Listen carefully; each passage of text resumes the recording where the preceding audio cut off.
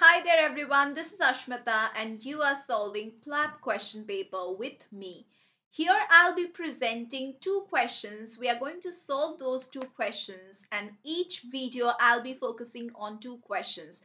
And if you want to have detailed discussion regarding these questions and uh, if you want to have more interactive sessions with me, then you have to join our classes. There are limited seats for the preparation of this particular course, so you need to join as soon as possible. For that, you can contact on the number that I'll provide at the end of this class. You can also go over to the description box below. There you will get all the website link and all the other details regarding our classes so you can join through that also. Let's get started with question number 15 that is presented on the screen. It says an 19 year old woman is is worried that she is overweight and is seen in the GP surgery. She has reduced her food intake and has been exercising for two hours each day for 18 months. She has amenorrhea. She is in her first year of university and is struggling with her studies. Her body mass index is 15.5 kilogram per meter square and her blood pressure is 90 by 60 mmHg which specialist service should she initially be referred to? A says acute medical services, B says dietitian, C says eating disorder service, D says psychodynamic services, and E says university student counseling services. So which one is your correct answer? Now your correct answer hmm. would be C, that is eating disorder service.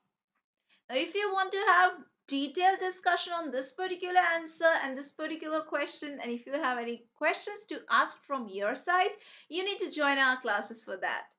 Anyway, let's come back to the discussion of another question from today's class. That's question number 16. And this says, a 20 year 28 year old woman requests contraception from the GP surgery. She has a 28 day menstrual cycle with a 6 day very heavy menstrual bleed. She had a pulmonary embolism in her previous pregnancy. So, which is the most appropriate contraception for her? Let's see the options given. A says combined oral contraceptive pill. B says copper intrauterine contraceptive device. C says levonorgestrel releasing intrauterine system that is Mirena coil. D says progestogen implant and E says progestogen only pill. So which one would be the correct option over here? The correct answer would be C that is levonorgestrel releasing intrauterine system that is the Mirena coil.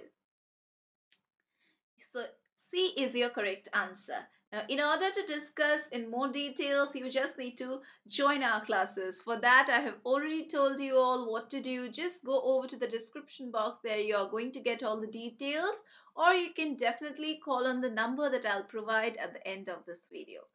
Thank you for watching.